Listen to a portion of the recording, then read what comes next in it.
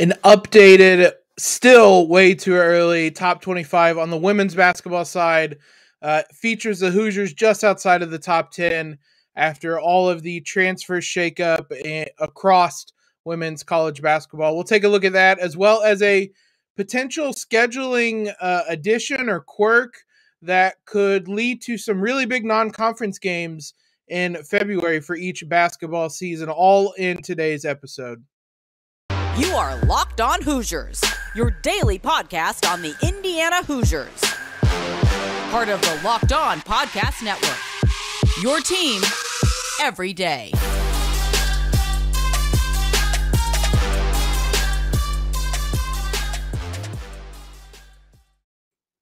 What is up, guys? It is Wednesday, May 4th. May the fourth be with you, even though I'm not much of a Star Wars fan. This is Locked On Hoosiers, your daily one stop shop for everything IU athletics. We have you covered as the one and only place doing daily IU podcasts. Thanks for making Locked On Hoosiers part of your day today, and specifically your first listen every day.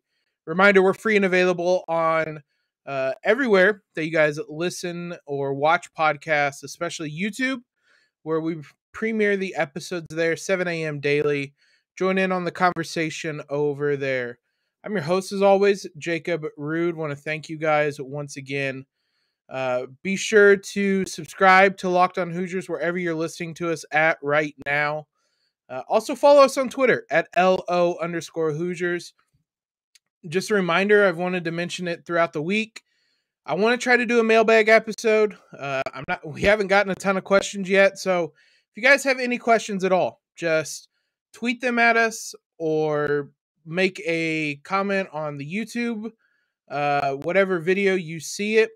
Uh, I've said it all week long, but basically, I want to try to get a mailbag episode if possible. So just leave any question you guys might have, whether it's about the football team, the basketball teams, men's or women's, uh, the soccer teams, whether it's any of the Hoosiers in the pros, we want to, or I want to see what you guys want to hear about. And it kind of helps guide me to make podcasts you guys want to listen to, especially now that we're in the off season. It's going to be a lot of here and there podcasts. Going to try to come up with a couple series so there's some normalcy, but we're going to be jumping all over the place just a little bit.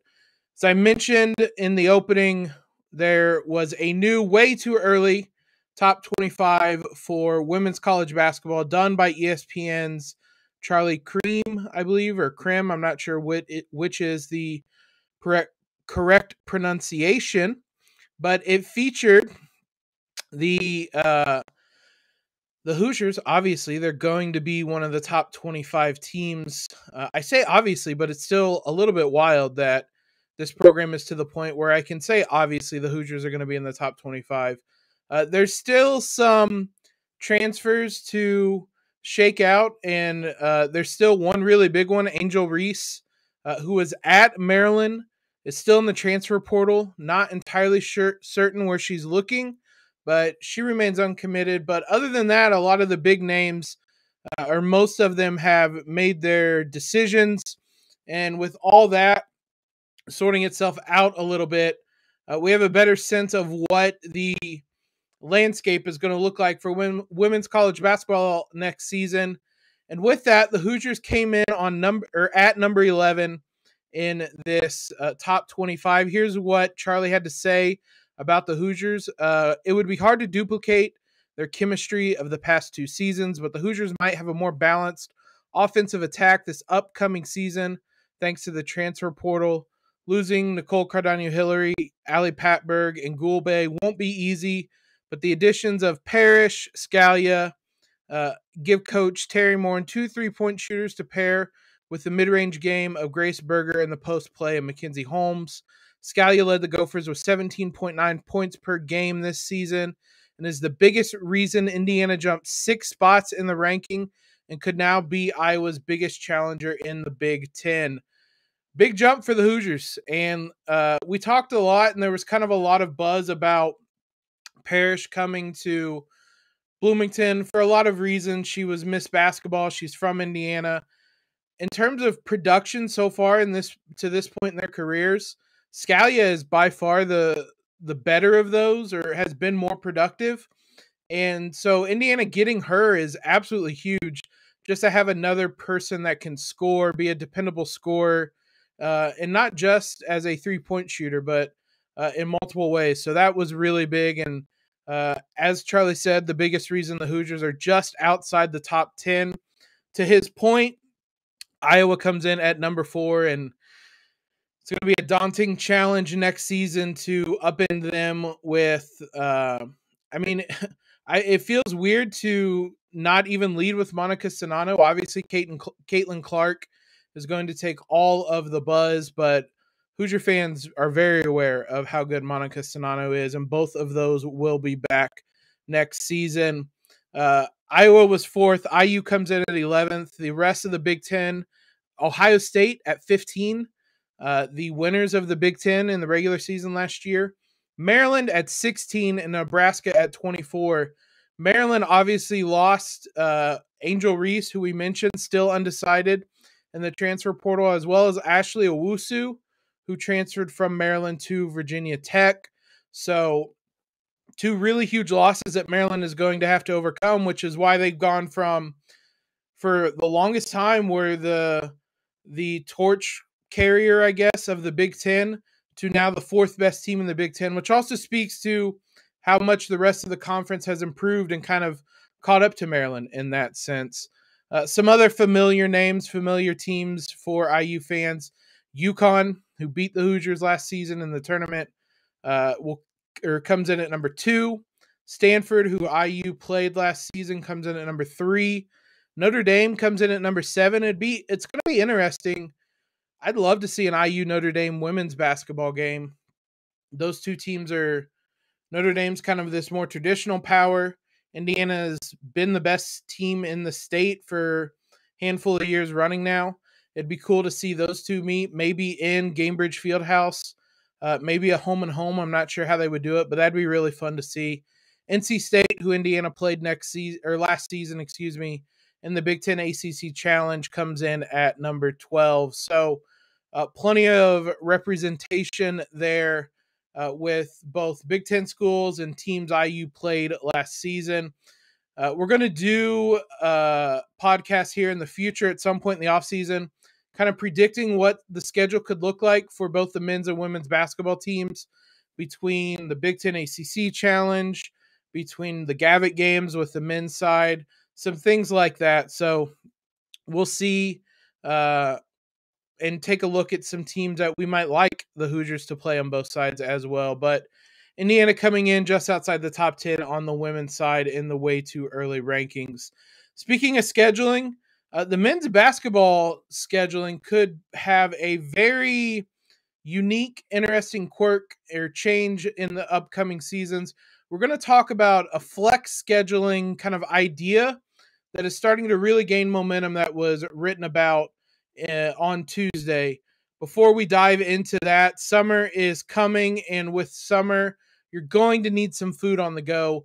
Built bars are the perfect snack to take with you on family vacations. Throw them in your bags, in your kids' backpacks, uh, wherever it is that you guys are heading off to. Make sure everyone has a bar so you're fueled up for your summer adventures. The best part about Built Bars, they're healthy and delicious. No more sacrificing delicious food for health. With Built Bar, you can have both, and it's easy. All you have to do is go to built.com and order now. The best part, they're covered in 100% real chocolate, and Built Bar's kind of motto or mission is to make the candy, I say candy bar, Freudian slip, make the protein bar taste good, and then figure out how to make it healthy. I don't know how they do it, but it clearly works because I keep wanting to call them candy bars. Uh, they always taste amazing and they have so many flavors to choose from with new limited time flavors coming up all the time.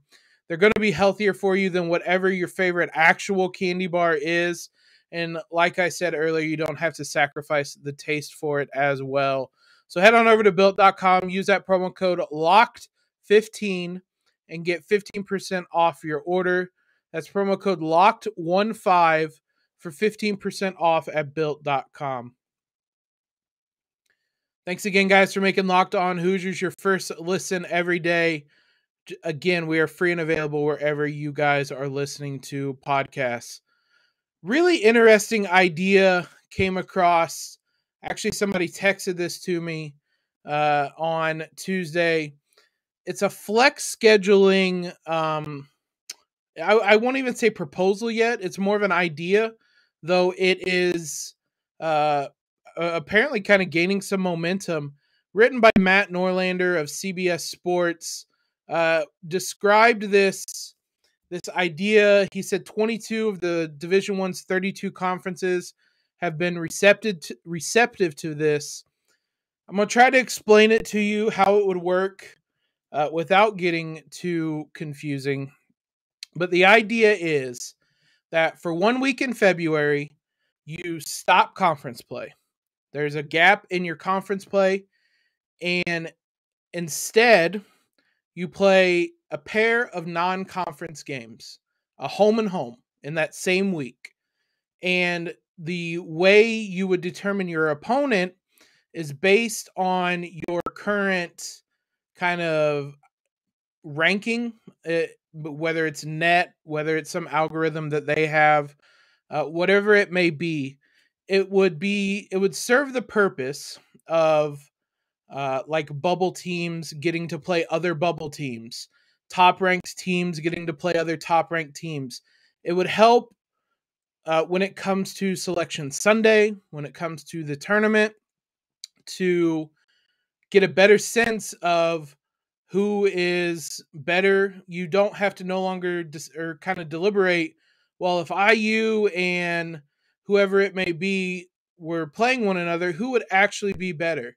And it would come at a point in the season. We all know that wins in uh, February and even into early March against bubble teams or carry more weight. Really, just wins in general seem to carry more weight. So the idea is uh, kind of right around Valentine's Day, you stop non-conference or you stop conference play for a week, and say on a Wednesday you play for IU. Let's say uh, this past season they would have played another bubble team, a Virginia Tech.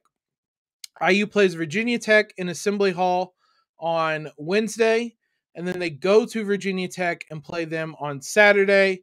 The next week, you resume conference play. That's the idea. Uh, the matchups would be decided based on whatever the algorithm or, or process would be, and they wouldn't be determined until the end of January.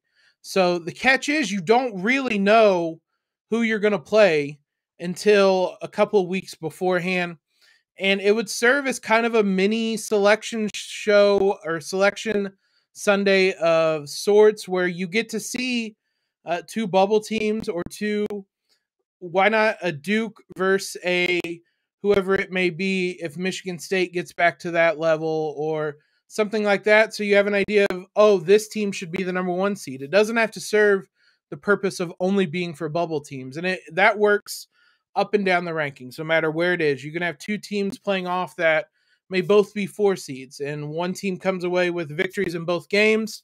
Suddenly they get a couple quality wins, and the committee will remember that if it comes down to Selection Sunday, they're going to get the edge over that other team and, and things of that nature.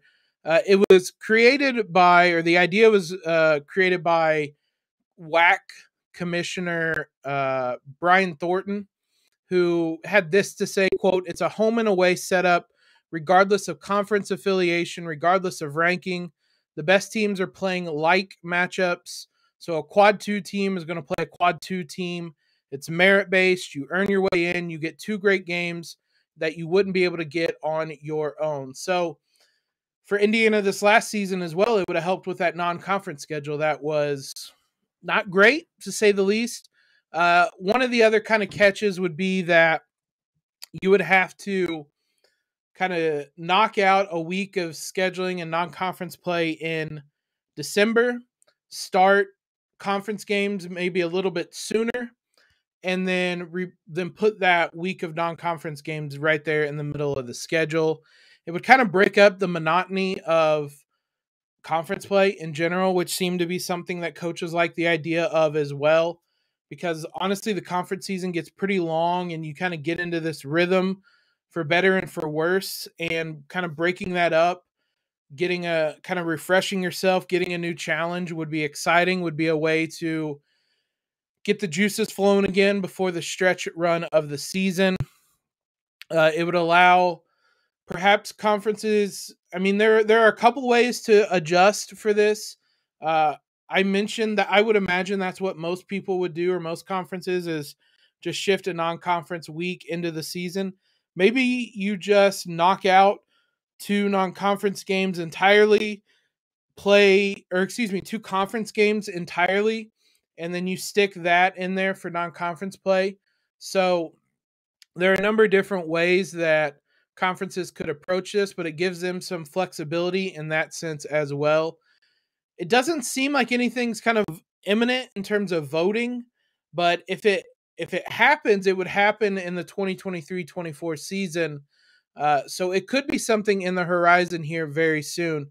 It's a really fascinating idea that I think that has I think a lot of potential. And we'll talk about why I like the idea and why I think it would be great for a team like Indiana, like we saw last season, to get the opportunity at a big win like that. Before we dive into any more of that, let's talk about one of our longtime sponsors here, Rock Auto. Uh, with the ever increasing numbers of makes and models, it's really impossible for whatever your local auto parts store is to have the part you need. You have to get out, drive over there, stand in line just to have them tell you they don't have the part available. They're going to have to order it. And then you have to pay that markup fee as well. Skip all of that and just do it yourself with rockauto.com. It saves you time, it saves you money. You don't have to pay those 30, 50, even 100% markup fees from the auto parts store, from the dealership. Uh, Rock Auto is a family business serving do it yourselfers for over 20 years. Their prices are reliably low for every single customer. They have everything you could need, whether it's brake parts, tail lamps, motor oil, or even new floor mats. Uh, go and explore their easy to use website today to find the solution to your auto parts needs. Go to rockauto.com right now and see all the parts available for your car or truck. Right, locked on in their How Did You Hear About Us box so that they know we sent you. Amazing selection, reliably low prices, all the parts your car will ever need. RockAuto.com. So I think this idea of flex scheduling is one that I can really get behind. I'm someone that wants a tougher schedule. And I think I would imagine most people are like that. I think I appreciate the benefits of having a tough schedule in the long run. Um, now, there are circumstances where it might not make the most sense.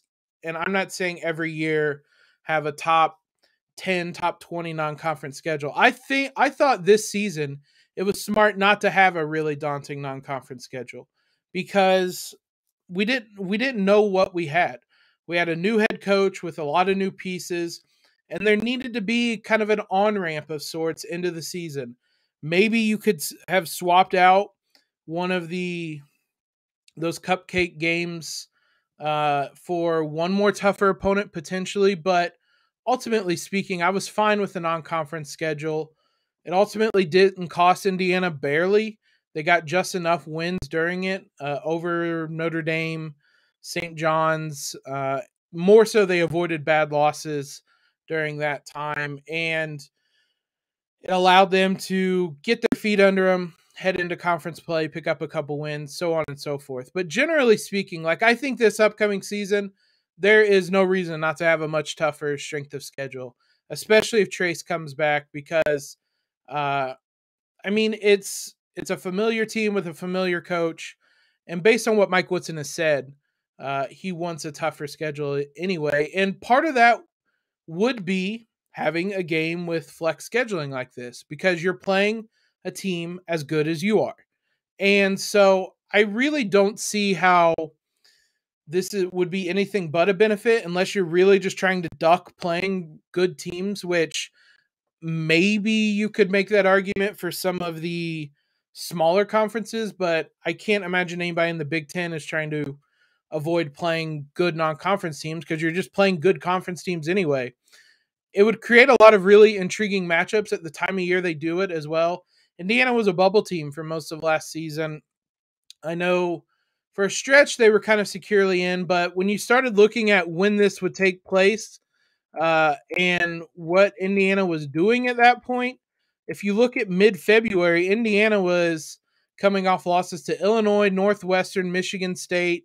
Uh, and the week they would probably do it was the week they lost at home to Wisconsin. So that was a team that was sliding pretty rapidly. So taking a break from non conference play and playing against um, uh, or taking a break from conference play and playing against non-conference teams excuse me easier said than done would be a bit of a refresher a bit of a, a chance to reset things and like i said there are some interesting teams indiana could play if you look at teams that were like also on the bubble last season you'd be looking at a an iowa state maybe they would have played wyoming in that uh, kind of flex scheduling, a home and home with Wyoming. Maybe they play Virginia Tech, like I said earlier, or a UAB, a Richmond that um, they barely got into the tournament. I'm not sure. I use the kind of tournament rankings to look at who was right there on the bubble with IU.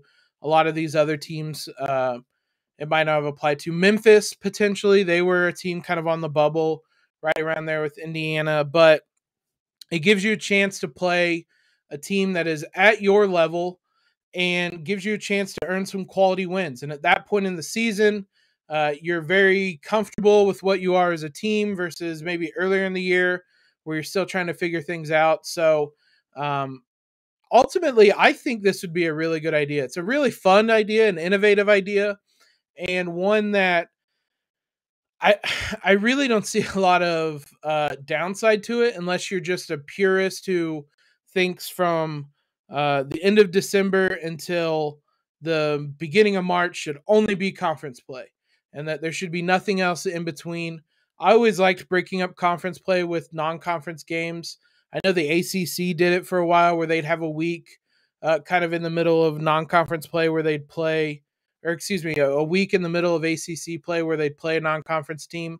So I'm in favor of kind of breaking up that monotony a little bit and adding a little bit something a little bit different. And I think this would be a fun way to do it. It would give teams a chance to pick up a quality win or two. It would give teams a chance at a true road game that, uh, like for Indiana, for example, struggled on the road. It would give them another chance at that. So it's a unique idea, and I can understand why it's picking up momentum. Seems like something a lot of teams are in favor of. Uh, Michigan State's AD was somebody quoted in there, so potentially the Big Ten is inter- interested in this as well. But it's a really fascinating idea that I think has a lot of potential and could be a lot of fun if it's executed correctly and uh, offer team or offer fans a chance at a lot of interesting matchups that we wouldn't have gotten anyway. Maybe there's a year where Indiana and Kentucky finally play in flex scheduling in a home and home uh, that John Calipari can't even turn down. So uh, how much fun would that be? A home and home with Kentucky in February when tournament uh, resume matters the most. Uh, that would be a lot of fun to play in the same week and beating Kentucky twice in the same week. Man, I might ascend at that point. Like that would be the greatest thing ever. Uh, but chances to play games like that are uh, are rare, and to do it twice in the same week would be a great opportunity that I can't imagine many coaches would turn down. So, fun idea to think about. We'll see if it keeps gaining momentum, keeps gaining steam, and something that's implemented, but something different that I thought we could talk about today that um, is just such a unique idea. Not something I would have thought of elsewise. Thanks again, guys, for making Locked On Hoosiers your first listen every day.